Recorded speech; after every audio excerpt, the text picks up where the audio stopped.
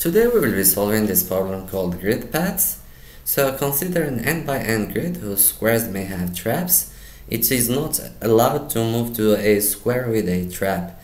So our task is to calculate the number of paths from the upper left square to the lower right square where we only can move right or down. So n here uh, the size of our grid is up to 8000 and that makes sense because we would have an n by n grid here and we would require n squared to just read our grid. And we have to output the number of paths that go from the upper left square to the lower right square modulo a billion and seven. And the fact that we have to output the answer modulo a billion and seven is an indicator that the answer will be very large. So let's go to the drawing board and try to come up with an answer. So this is our grid. We will start in this square and we will need to reach this square.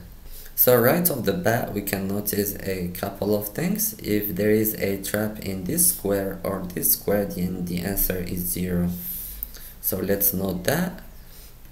So now that we made sure that our starting and finishing square do not contain traps, let's think about what it means to reach a certain square.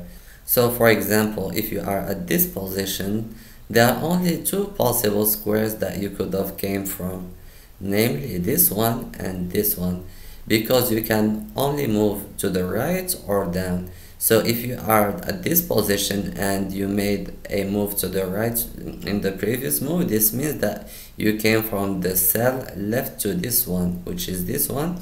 And if you used a move down, then you came from a cell up to this one, which is this one. So basically, if you are at this position, then the number of ways of reaching this square will be equal to the number of ways of reaching this square plus the number of ways of reaching this square. And the same will apply to all other square.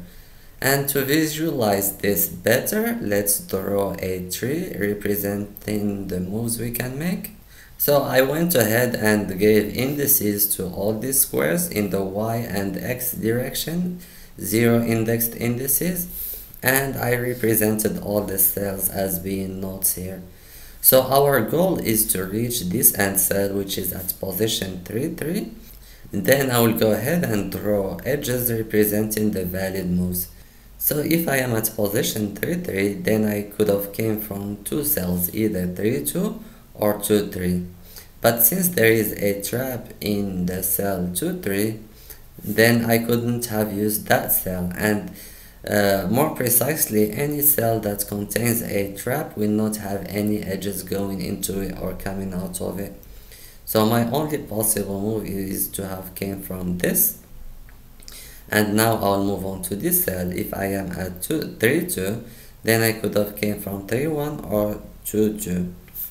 So again, I'll draw these edges. And I will not uh, process 2, 3 because it contains a trap Next is 3, 1. So this cell, if I am at this position, I could have came from 3, 0, but it contains a trap. Or I could have came from 2, 1. So I'll draw an edge between 3, 1 and 2, 1. And moving on to 2, 2. So I could have came from 2, 1 or from 1, 2. And both these squares do not contain traps. So I'll draw edges to both of them. And now 1, 3. I could have came from 1, 2 or 0, 3. Since both cells are empty, I will draw edges to both of them. And now I'll move on to 3, 0. 3, 0 contains a trap, so I will not process it. Then 2, 1, I could have came from 2, 0 or from 1, 1. And 1, 1 contains a trap as well, so I'll just add an edge to 2, 0. Moving on to 1, 2, I could have came from 1, 1 or from 0, 2.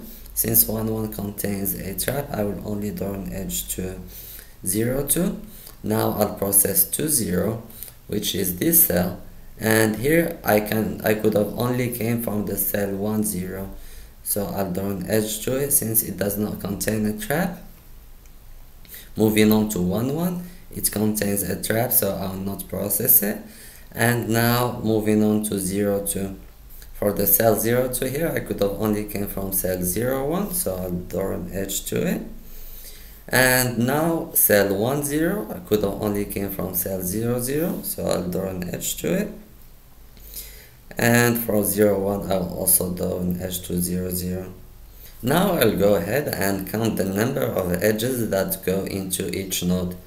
So into this one goes one edge and into this one as well. One one one one one here and notice that two edges go into this node and two edges go into this node as well. And finally for this node three edges go into it and that's why our answer is 3 because 3 edges go into this node.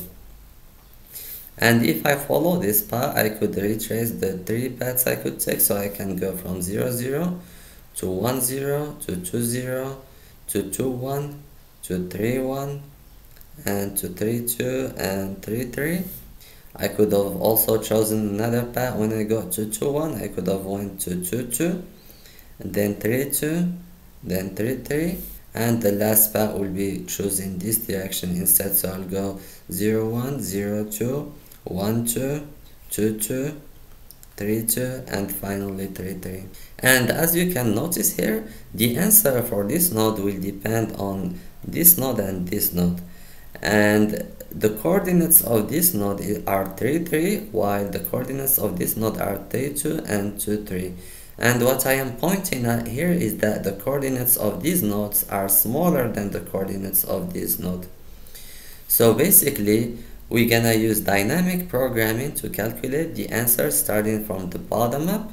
And since each node only depends on nodes whose coordinates are smaller than, than this node then I can just start from 0 0 and go all the way to the right then move on a one row then go all the way to the right and so on so this is our first encounter with two-dimensional dynamic programming and it is two-dimensional because each one of our states has two values that define it. So in order to keep track of the number of ways to reach each node, I will represent it by using a two-dimensional array that I call DP for example, where the first value corresponds to the x coordinate and the second value corresponds to the y coordinate.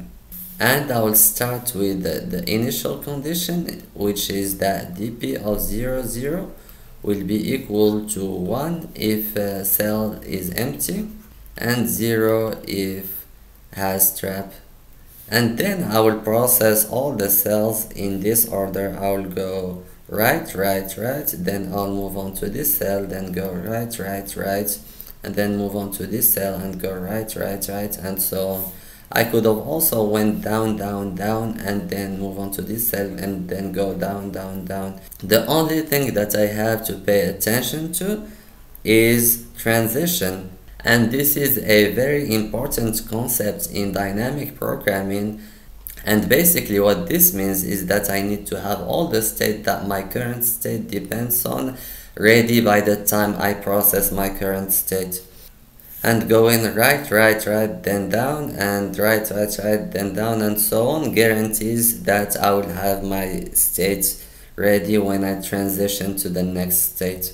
Then after initializing the dp of 0, 0, at each position dpij, I will just add dp of i minus 1j plus dp of i j minus 1 and of course I need to make sure that these indices are within bounds and so on.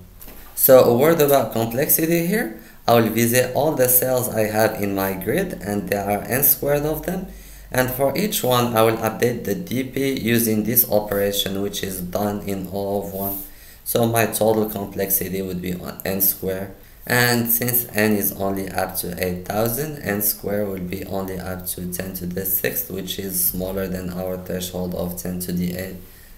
So let's go ahead and check out our code. So this is our program.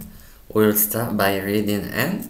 Then I will declare a vector of string to store my grid. Then I will read the n lines Then I will declare a vector of vector of long longs to store the number of paths that go from uh, the upper left corner to any cell and I will initialize it with 0. Then I will have the initial condition for my DP. As we said, the number of paths at 0, 0 will be either 1 if the cell is empty or 0 otherwise and this expression here will be will evaluate to 1 if the cell is empty and to 0 otherwise. Then I will look through all my rows and for each row I would look through all the columns from left to right.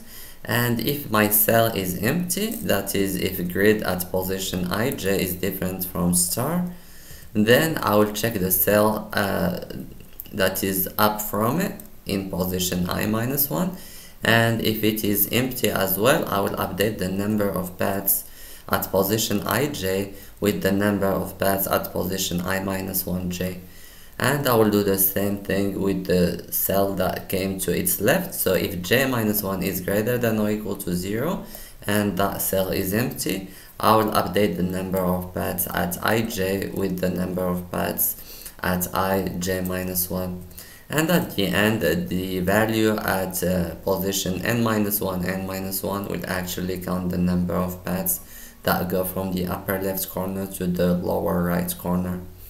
So that's pretty much it. Let's go ahead and submit.